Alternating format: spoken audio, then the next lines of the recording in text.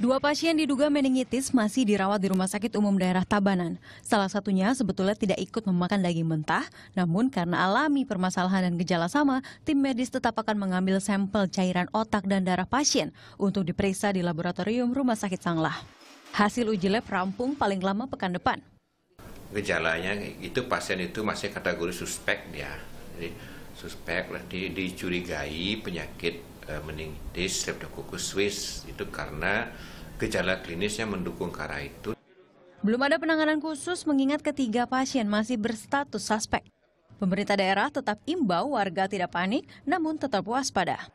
Salah satunya dengan menjaga kebersihan dan mengolah daging yang hendak dikonsumsi dengan benar.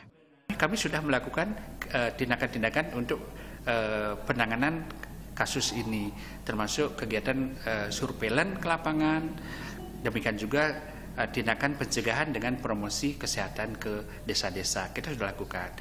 Tiga warga Kabupaten Tabanan Bali diduga meningitis atau alami peradangan pada selaput otak. Dua dirawat di RSUD Tabanan, satu pasien di Rumah Sakit Sangla dan Pasar. Ketiganya alami gejala penyakit ini usai mengonsumsi daging babi mentah di sebuah pesta adat.